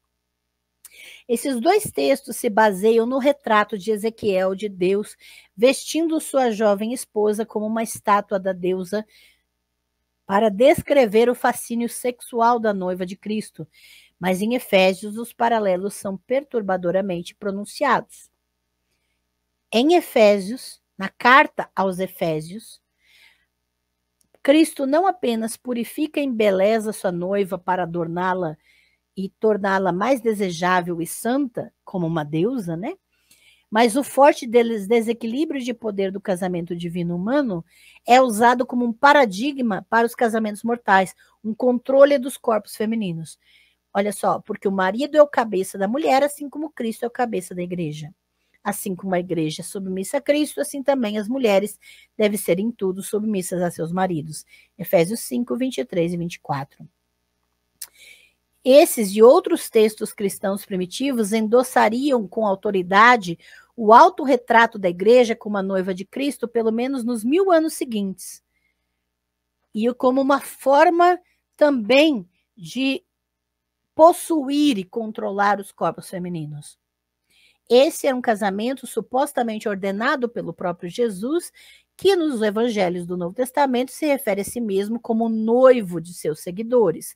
Mateus 9, 14 a 17, Marcos 2, 18 a 20, João 3, 28 a 30. Mas em outros textos cristãos antigos, Maria Madalena parece desempenhar o papel da própria igreja. Tanto no Evangelho de Maria, século II da Era Comum, e no Evangelho de Filipe, início do século III da Era Comum, ela é apresentada como a discípula que Jesus mais ama. Ela é sua amada e sua consorte, com quem ele compartilha não apenas seus ensinamentos esotéricos mais autorizados, mas sua afeição física de, na forma de beijos, para grande irritação dos outros discípulos, é claro. Embora as tentativas de argumentar que Maria Madalena era originalmente a esposa de Jesus, e essas tentativas têm se mostrado repetidamente pouco persuasivas, tá? Os estudiosos concordam que ela foi celebrada no cristianismo nascente como um agente crucial no início do movimento de Jesus. Não apenas ela era vista como um membro proeminente do círculo íntimo de Jesus, mas também foi considerada por alguns como tendo sido comissionada pelo Cristo recém-ressuscitado para ensinar os outros discípulos sobre sua divindade e seu reino celestial. Seu status elevado nos evangelhos de Maria e Filipe reflete a força contínua dessas primeiras tradições em algumas comunidades do Império do Oriente, nas quais ela era reverenciada como uma grande líder da igreja. Mas, como mostra a acadêmica April D. As crescentes ansiedades sobre a autoridade religiosa das mulheres, juntamente com os crescentes conflitos entre as igrejas do Oriente e do Ocidente romanos, levaram à sua marginalização. Eventualmente, no que viria a ser as tradições teológicas mais proeminentes, né, ou seja, tradições inventadas, ela seria considerada uma prostituta. Então, toda afirmação de que Maria Madalena é prostituta é uma invenção, porque não tem nenhum, nada nos textos bíblicos, nada nesses evangelhos também considerados deuterocanônicos, né? Sobre isso, então, isso é uma invenção teológica específica da, né, que vai marginalizar a figura dela. Assim como a Xerá e Eva antes dela, Maria Madalena foi esmagadoramente destituída do poder por sua deliberada difamação como a personificação do desvio sexual. E não é interessante, se você fizer uma comparação entre a Xerá, Eva e Maria Madalena, você vai perceber os mesmos processos de desmoralização que os monoteísmos vão fazer contra elas. A virilidade vivificante de Cristo e seu compromisso corporal com a igreja foram vividamente modelos bíblicos muito mais antigos do casamento divino e da sexualidade masculinizada e corpórea de Deus. Em toda a Bíblia, Javé se envolve em relacionamentos sexualizados e ou erotizados, com uma variedade de consortes femininas e femininizadas. Algumas são deliberadamente marginalizadas e vilipendiadas, Outras são colocadas no papel subordinado de noiva rebelde ou obediente. Todas, todas foram submetidas a uma série de distorções teológicas, posteriormente forjadas por um monoteísmo misógino, abrindo espaço para a degradação contínua do corpo feminino sexualizado, seja humano ou divino, nos sistemas religiosos que a Bíblia viria a moldar. Mas no centro do relacionamento de Deus com essas consortes, mesmo que às vezes profundamente suprimido, estava um complexo de ideias antigas em que a criação cósmica, mapeada na geração genital, a corporeidade divina, mapeada na fisicalidade humana, o temor religioso, mapeado no fascínio erótico, e a intensidade espiritual, mapeada na intimidade sexual. No corpo do Deus bíblico, o pênis divino era mais do que um acessório da masculinidade patriarcal. Era manifestação corpórea do impulso divino de toda a vida, celestial e terrena, cultural e social no cosmos. E aqui nós terminamos uh, o texto da, do capítulo 8 do livro Deus, uma anatomia e eu estou projetando agora as referências bibliográficas utilizadas para este capítulo, é, que a doutora Francesca coloca especificamente. Você pode depois, como vai ficar gravada essa live, você pode pausar a tela, colocar é, essas referências na sua rede de busca, pesquisar por si as informações, não saia repetindo as coisas sem contexto, sem, fora de contexto. É, falar, repetir coisas que outro disse fora de contexto não é pesquisa, não é saber, tá? Então você precisa fazer a sua própria pesquisa, confirmar as informações, é, verificar as fontes.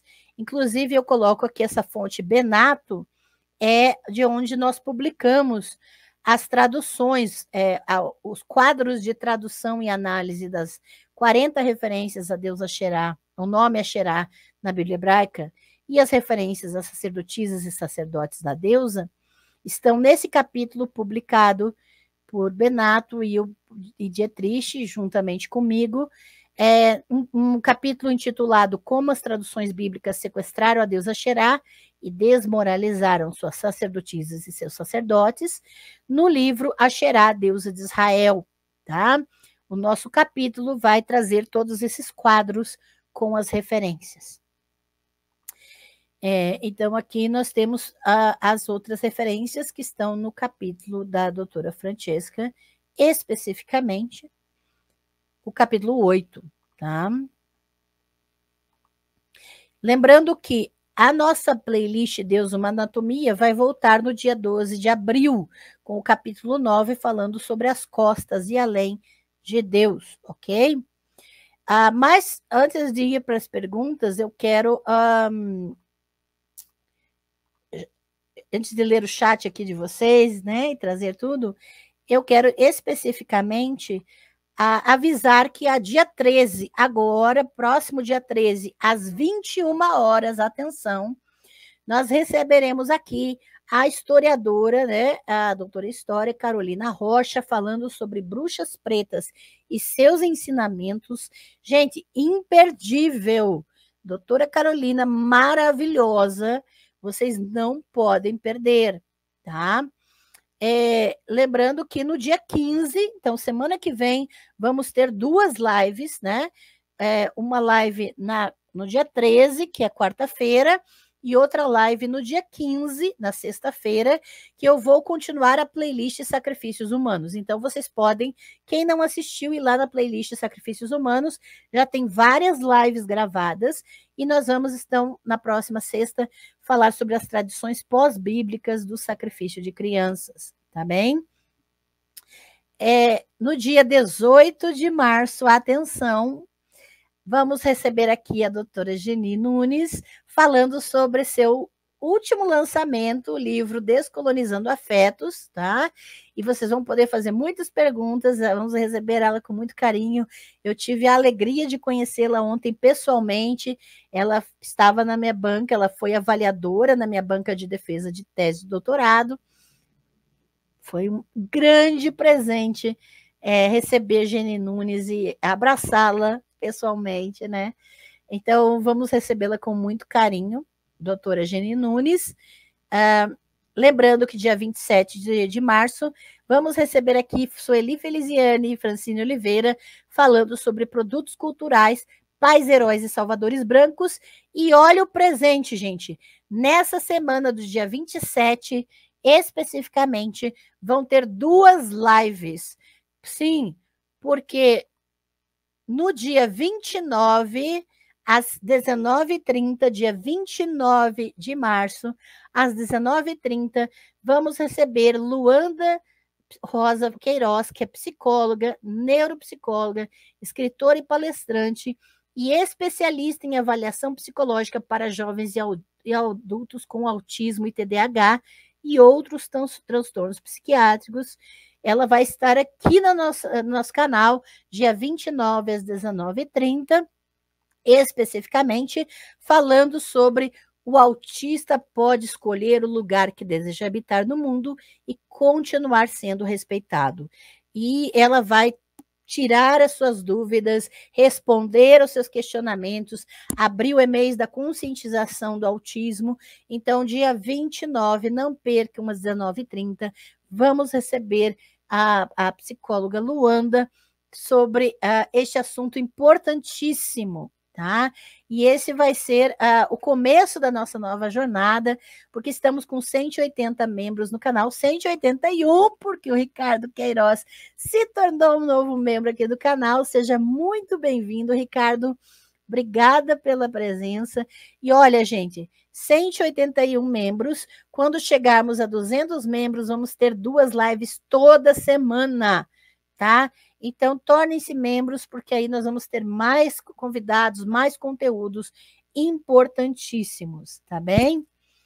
Olha aqui, Washington. Ah, lembrando só uma coisa, gente, antes que eu converse com vocês, membros do canal, incluindo o nosso novo querido membro Ricardo Queiroz, manda agora um e-mail para mim com seu nome completo, endereço dos correios, para eu poder enviar. Segunda-feira eu já posto o seu pacote de membro de boas-vindas, tá bem? Com material feito, é, embalado com muito carinho, enviado para vocês, tá?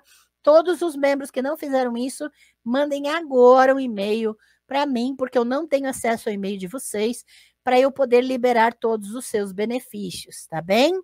Por gentileza, eu aguardo o e-mail de vocês. Ah, chegando atrasado. Ah, boa noite, Washington. Muito obrigada. Muito obrigada pelo carinho. Sim, é isso aí, gente. Boa noite. Seja muito bem-vindo.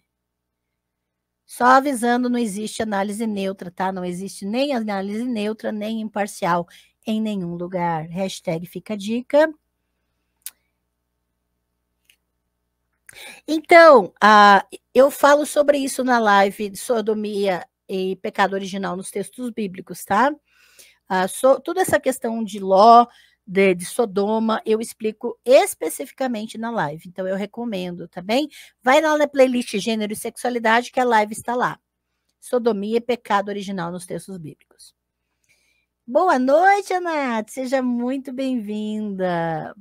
Ah, que pena, mas fica sempre. Ah, acho que é melhor você agendar por você mesmo, porque o YouTube às vezes dá uns, uns piti aqui, né? Eu sinto muito pelo transtorno, tá, querida? Ah, obrigada. Muito obrigada pelo carinho. Márcia Alves, boa noite. Obrigada pela presença. Eu quero ver se tem comentários, dúvidas, né? Sim, exatamente, Nadi. Um absurdo. E não tem como não pegar raiva, né? Muito obrigada, Ricardo Queiroz, pelo apoio, por todo o carinho. Seja muito bem-vindo ao espaço das deusas, que é a comunidade de membros. Aguardo o seu e-mail, tá? Com o seu endereço dos correios para eu poder enviar seu pacote. E seja muito bem-vindo. Aproveite as playlists. Tem vários cursos gratuitos. É só ir na aba playlists e maratonar o canal, gente, que já tem muito conteúdo aqui, hein? É, pois é, e aí não tem como ignorar essa, é, essa projeção do, da Bíblia hebraica, né, Nádia? Sim. Por isso que eu avisei, viu, Mari? Porque é, a, a descrição é muito gráfica, muito violenta, né? Com certeza. Obrigada, viu, Ricardo? Espero mesmo, aguarde seu e-mail e espero que você aproveite muito todos os conteúdos aqui do canal e todos os seus benefícios, tá? Obrigada, Juliana Helena, muito obrigada é, por todo o carinho, obrigada, Tiago. A presença de vocês na live é para mim é um tesouro, gente. A participação de vocês no chat, todo o carinho, tá? Muito obrigada mesmo. Saudações, querida Raquel, seja muito bem-vinda. Um grande abraço. Deixa eu ver aqui. Nas lives, qual você trouxe o livro Sarai, Deus Israel? É o, ah, tá. É posto o termo El Shaddai, Sarai. Uhum. Israel como Asherael. Sim, existe essa possibilidade, sim, exatamente. E, e na verdade, a, a, a própria junção né, de Sharai Shaddai, é, é, El, é, é, exatamente essa, essa possibilidade de El Asherá, tá bem, querida? Ótima, é, ótimo comentário. Então, há completamente essa possibilidade. Ah, é, desculpa, é Remanor. Desculpa se eu não sei, querido ou querida, tá? Mas olha, é uma ótima dica de pesquisa e isso aí dá uma tese de doutorado, hein? Olha a dica, que é muito boa.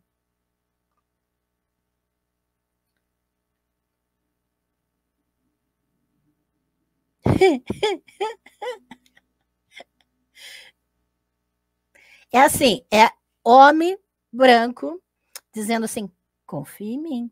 Na verdade, eu tenho um adesivo, né, gente? que você pode até adquirir um real, viu?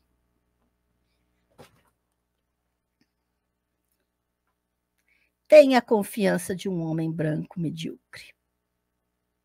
É isso que eu tenho para lhe dizer. é isso que eu tenho para lhe dizer.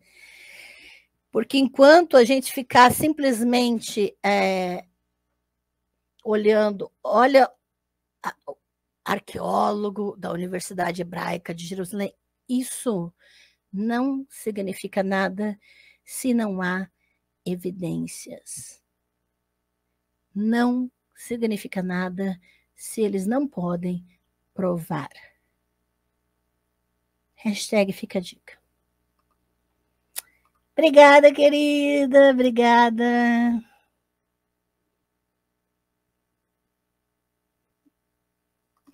Ah, eu, nós falamos sobre os vigilantes. Eu falo sobre os vigilantes na live sobre sodomia e pecado original nos textos bíblicos. E nós falamos também na é, no curso World of Dragons, Daniel e Literatura Apocalíptica, tá? É, em detalhes mesmo eu falo na live, beleza, querida? Lembrando que a partir de abril, vocês, ó, você que é membro do canal, todos os membros do canal, eu vou começar a montar a pasta com os slides dessas lives que já tivemos, e aí vocês vão ter o conteúdo todinho para ler, estudar e pesquisar, tá bem? É, esse adesivo tem que colar na testa mesmo, gente, porque, ó, eu fiz o adesivo exatamente para me poupar, entende? De ficar falando. O adesivo já, já poupa muita coisa. Porque geralmente as pessoas tendem a. E isso é muito mais comum em homens do que mulheres.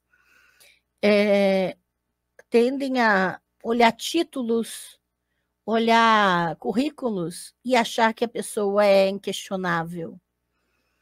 Não existe pesquisa imparcial. Não existe pes pesquisa neutra. Não existe nada que não seja enviesado. A grande questão é que as, essas pesquisas dos arqueólogos da, da Universidade Hebraica de Jerusalém se veem como padrão mesmo quando fazem as aberrações de afirmar questões que não podem provar, tá bem? Então, é por isso que a gente está aqui, trazendo pesquisa decolonial para começar a quebrar essas construções fictícias que se fizeram para simplesmente defender sua fé, suas doutrinas, seus dogmas e suas violências, tá bem? Ah, obrigado, querido, muito obrigada. Pois é, exatamente. Israel Filkenstein é, é uma referência né, nessa questão. Para quem quer ouvir homem, vai pesquisar o Israel Filkenstein, pronto. Né? Para quem, quem precisa de uma referência masculina, está aí o Israel Filkenstein. Mas nós estamos aqui para mostrar que né, não é só homem que pesquisa, e, e aqui a gente vai trazer pesquisa fundamentada para vocês, tá? Por isso eu recomendo assistam as playlists, não precisa sair repetindo o que eu disse. Pega as referências, pesquise por si. Não precisa nem dizer meu nome nem dizer meu currículo. Pesquise e faça isso não só comigo, faça isso com os homens que você lê, os homens que você ouve pegue os dados e pesquise por si. Não adianta repetir que os arqueólogos da universidade, não sei de onde, falam isso. Verifique por si se é verdade. Pesquise por si. E falar que tal pessoa disse isso não é argumento nenhum. Você precisa saber por si mesmo. O que você repete dos outros, você não sabe. Bem? Então, estamos lembrados, dia 13 às 21 horas. Já marque na sua agenda lá, 13 21 horas. A doutora em História, Carolina Rocha, historiadora maravilhosa, vai estar aqui falando com nós, conosco, de, sobre bruxas pretas e seus ensinamentos. E no dia 15, às 19 horas, estarei aqui falando sobre as tradições pós-bíblicas do sacrifício de crianças, tá bem? Vamos nos aprofundar na história, nas evidências, nos indícios e naquilo que podemos afirmar. E aos poucos, sim, eu vou compartilhar toda a minha tese de doutorado aqui no canal para vocês. Aguardem.